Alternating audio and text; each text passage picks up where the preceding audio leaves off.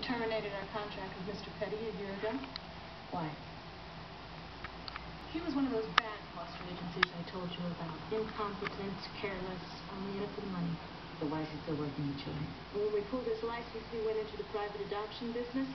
He earns fat fees, but he doesn't do adequate background checks on either the children or the parents. You saw the result. What? You know this woman. Alma Cordoza, we fired her three years ago. Her child care theories were extreme, her case follow-up non-existent. Where's she now?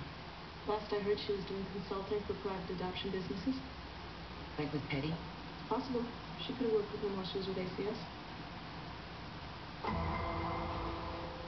Serve an urgent need, Detective. There are thousands of childless couples in America, hundreds of thousands of poor children in the world. I bring them together.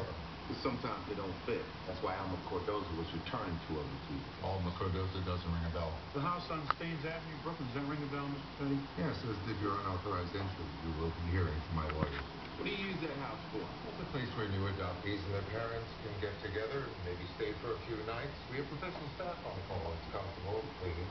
That place is a toilet. The roaches are checking out. If it's so wonderful, How come you cleared it out? I intend to sell and buy a vendor.